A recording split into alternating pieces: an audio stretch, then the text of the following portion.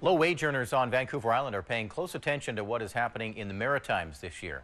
In the new year, rather, both Newfoundland and New Brunswick have announced raises to their minimum wage up to $10 an hour.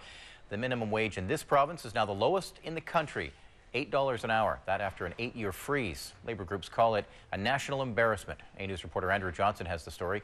He's live in Victoria tonight. Andrew? Eric, we visited a couple downtown Victoria small businesses today and found out they already pay several dollars above the minimum wage. Which one of them agrees is too low?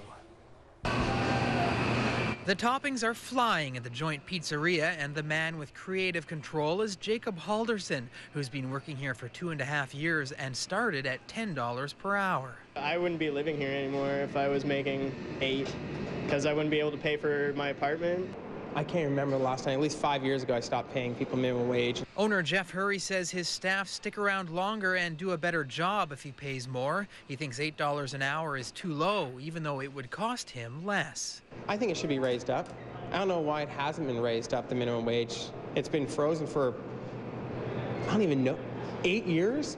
Now that's ridiculous. He's taking the words right out of Rob Fleming's mouth. The Victoria Swan Lake NDP MLA says the Campbell government is lagging way behind. British Columbia, even though it's the most expensive province in Canada in which to live, the cost of living here is in some cases 30 to 40 percent higher than other provinces. We now have the distinction under Gordon Campbell of having the lowest minimum wage uh, in the country. In the province's defense, Labor Minister Murray Coell says in a statement At this time of economic uncertainty, it's of utmost importance to keep British Columbians working. Raising the minimum wage to $10 an hour could result in a loss of more than 50,000 jobs over the long term.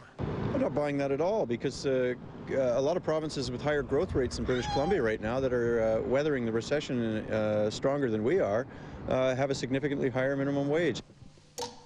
Hemingway Boutique's Tiffiny Dobson, who also starts staff several dollars above the minimum, is worried a rise in BC's rate would still affect her wages. We're going to have to raise it as the minimum wage raises. So it's going to, you know, it kind of affects us as well as people who are just paying minimum wage. The Labour Minister also points out the average hourly wage for youth in BC is $13.18 per hour, third place in Canada, and consistent with what we heard today at Hemingway and The Joint, where perfecting a pie is worth more than the minimum. Erica, minimum wages across Canada range from BC's low of $8 per hour in the Northwest Territories at $8.25 to a high of $10.25 effective March 31st in Ontario.